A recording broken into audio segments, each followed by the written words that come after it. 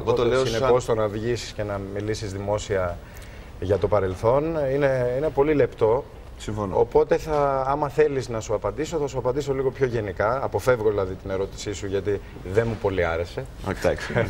Ε, γενικότερα είναι μεγάλη χαρά να βλέπεις τώρα ε, ε, τους Έλληνες να βγαίνουν έξω και να κάνουν πράγματα. Και, πολύ αυτό, για- αυτό δίνει και θάρρος και σε όλα τα παιδιά που κάθονται εδώ και ξεκινάνε και νομίζουν ότι το όνειρο, πιο, τέτοιου είδους όνειρα δεν είναι εφικτά και δεν είναι πραγματοποιη- πραγματοποιήσιμα. ναι, πρέπει να βγεις έξω ουσιαστικά και να τα δεις. Αυτό και το, και το Hollywood έχει χώρο για Ευρωπαίους και η Ευρώπη όμως.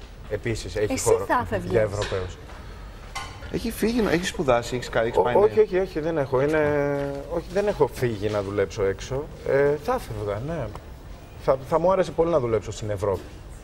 Α, στην Πολύ. Ευρώπη. Ευρώπη, Στο- όχι- Ναι, σε ευρωπαϊκό κινηματογράφο. Αυτό, αυτό με αφορά, αυτό απολαμβάνω όταν βλέπω. Όχι ότι άμα μου λέγε ε, ο James Bond να του, να του ρίξω πέντε κλωτσιά. Όχι να γίνεις, θα πούμε, έλεγα το, όχι, αλλά το, το αγόρι της Catwoman, ας πούμε, στο, σε αντίστοιχη ε, Αμερικανιά. Catwoman Γιατί αγόρι. τώρα. Ρε, παιδί μου, δεν είναι τι να του πω, να γίνω Batman. Θα έπαιζα τον Batman, άμα με ρωτάς. Ε, θα τον έπαιζα Batman. τον Batman. Αυτό Ναι. Θα το έπαιζε τον λέω Joker. για να κάποιος, άμα Άμα μας ακούσει... βλέπει Δεν θα κάποιος έπαιζες παραγωγό. τον Τζόκερ.